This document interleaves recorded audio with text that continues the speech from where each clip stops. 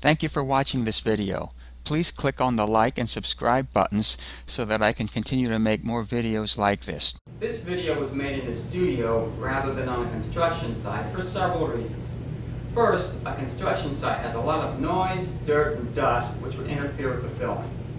Also on a job site, there are other people doing their jobs who would have to enter our area. In order to compensate for this, we have had to use some staged situations with some props.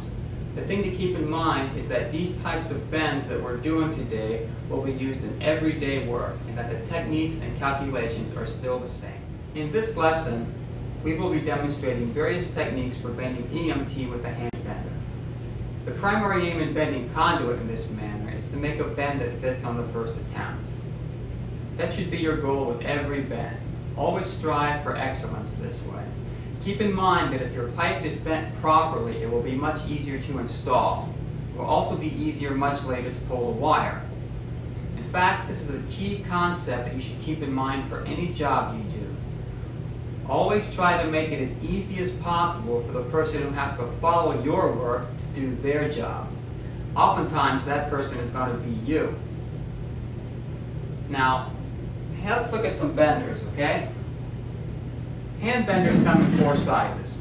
They're the half inch, three quarter inch, one inch, and the inch and a quarter. Now I've got a three quarter inch bender here. So let's take a closer look at some of the markings on the bender. Okay, we've got the arrow mark, we've got the saddle mark, this little notch here, we've got the star. Now benders also have markings on them for the most commonly used angles. These are 10 degrees, 22 degrees, 30 degrees, 45 degrees, and 60 degrees.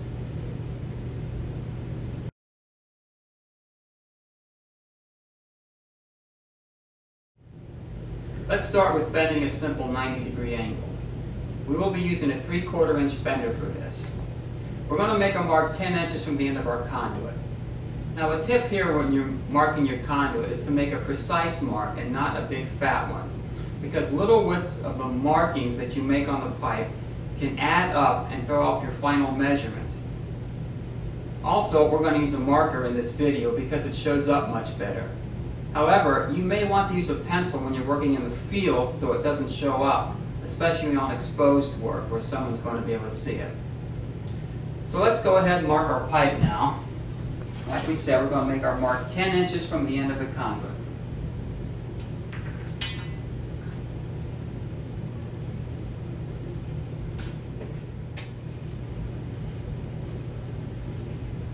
So we're going to place the arrow mark of the bender on our mark. We're going okay, we've got the arrow on our mark. Now the technique that we want to use in bending is steady foot pressure all the time. So we want to put steady pressure on. We'll just start bending our conduit. Now we're not going to get in a hurry. We're just going to work nice and smoothly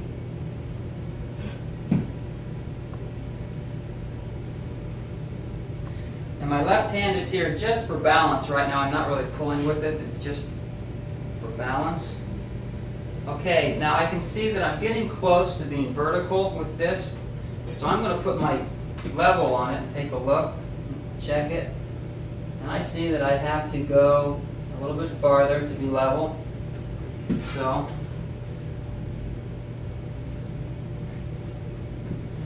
getting close. I want to I want to check that again because I think I'm pretty close to it. And I'm right on 90 degrees. So I can, I can see that we're level.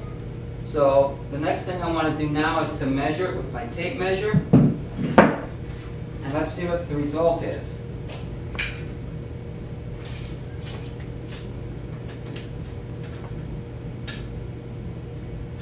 By measuring that I have a stub that is 16 inches long.